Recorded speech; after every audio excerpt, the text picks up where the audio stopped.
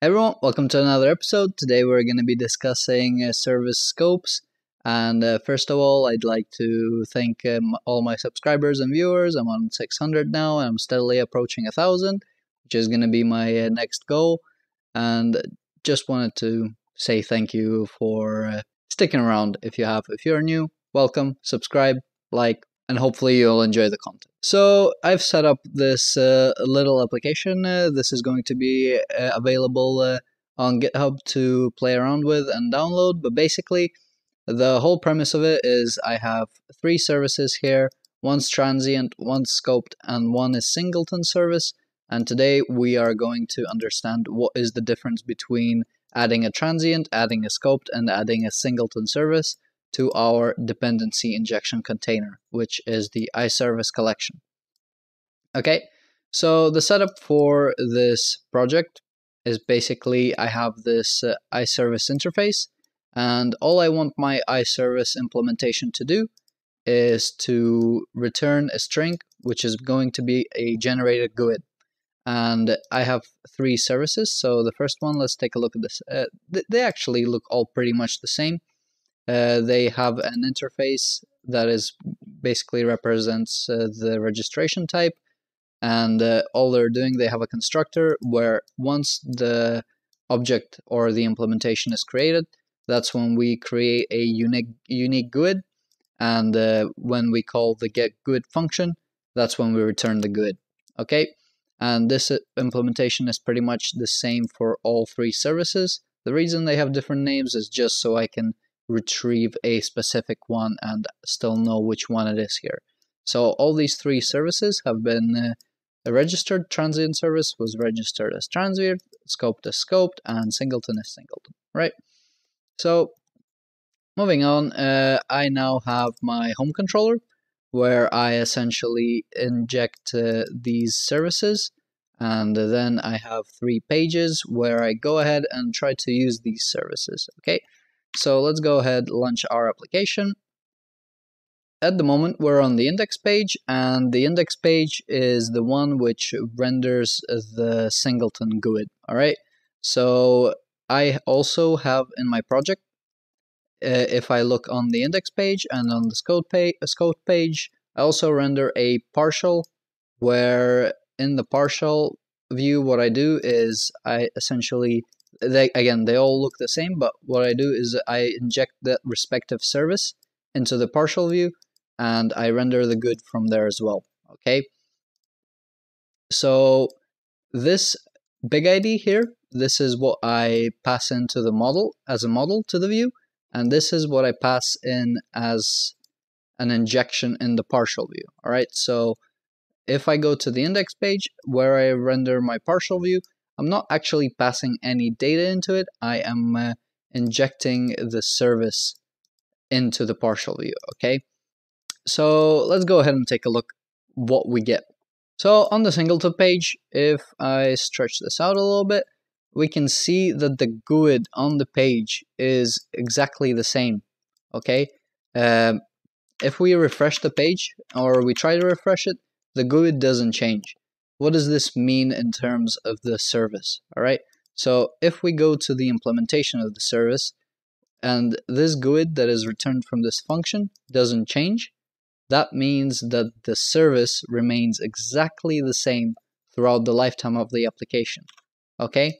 So it basically, it doesn't matter what you do, as long as your application doesn't shut down, your service, the instance, this object that you have created, will not change, will not get disposed of, and will remain the same. Okay, so the primary uses for it is having stuff like caching services, and maybe some global configuration, which won't change, and you just want that same object. You just want to inject it, and you want it.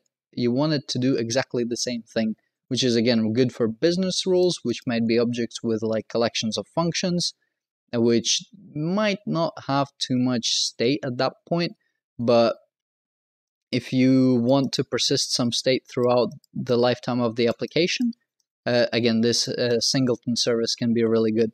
And also, there is an HTTP. Uh, you, you might want to put HTTP clients into your singleton services and the reason why I left a link here. It's a nice little blog article which describes how HTTP clients and C Sharp work, so you might want to go check that out. Okay, now this singleton service is something that is created once and is just sort of it's there. And when you call upon it you get the same instance. Doesn't matter where you inject it in your application it's always the same. Moving on to the scoped one. You can see that in the partial and in the GUID we get the same IDs but if we refresh the page the what's it called? The partials change but they're still the same this tells us that whenever we use a scoped service for a request, the ID will remain the same, but if you issue another request, the ID will change. This means a new object, a new instance is created every time you make a request. So what is this useful for? To be honest, I have not used a scoped service. I haven't gone and created uh, something that actually required a scoped service. I always either lent towards a singleton or a transient, but a I could imagine if I would want to use a scoped service, it'd be something to persist a, state through the application request.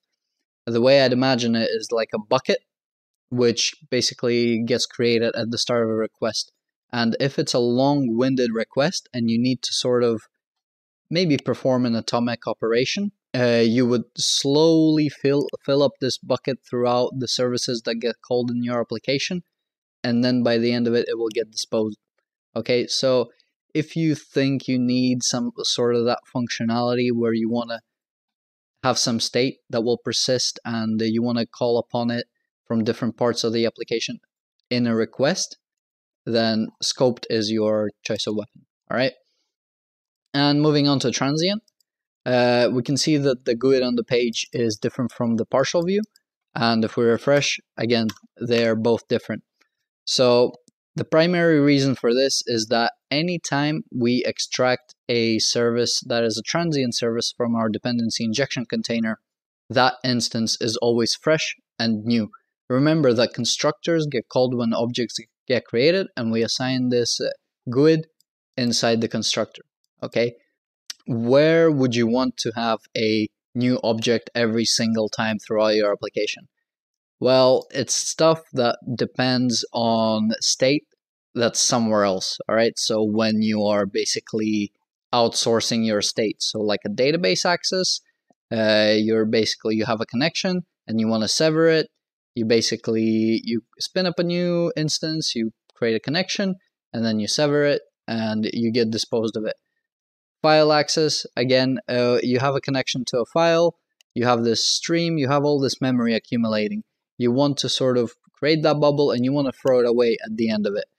Uh, services that should be disposed of their state. This is really kind of the underlying um, principle of the transient service. You you want some state or you have some connection that you just want to get make sure you get rid of. Uh, remember that these services, uh, .NET Core takes care of basically disposing of them so uh, what I mean by that is usually when you'd create a class, you'd have to do something like uh, implement from iDisposable, and then you'd need to create your own uh, what's it called dispose function. So if we implement this interface, you'd uh, have to basically do something like dispose of your GUID. So you'd have to say null here, or if you have a connection, you'd have to like close connection safely. And just remember that if you have a transient or a scoped, whenever you're disposing of your state and your service, .NET Core takes care of that for you. And the last point that I had um, on there, yeah, is just if you need a fresh instance of an object every single time. So let's say you have an object that has some state, and uh, depending on which uh, functions you call in that object, the state will change. But if you reuse, try to reuse that state and call those functions again, uh, basically stuff will stop, start to break. So you need a fresh instance every single time. So that's when you want to opt in for a transient service. So hopefully you enjoyed this nice, nice short little video and learned something new.